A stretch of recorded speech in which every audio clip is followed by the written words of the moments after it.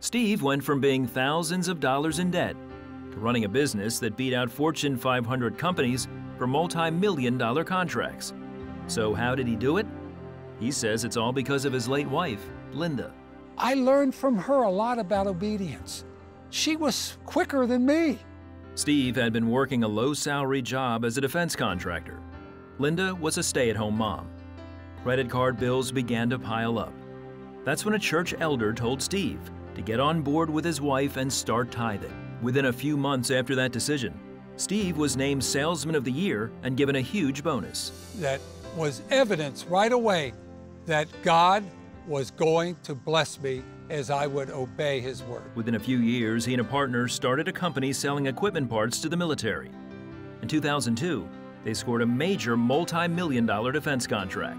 What it did was increase my faith tremendously in every aspect, including tithing. As Steve earned more money, he started giving more away. One of his favorite places to support is CBN. I love the testimonies because those are real people that have experienced real challenges and God met them in their need. Steve and his partner sold his company in 2017, two years before Linda passed away. Now semi retired, Steve has written a book where he shares the secret to his success, the one Linda taught him many years ago. Just be a giver. The word says to do it, do it. Just give. As they say, you cannot outgive God.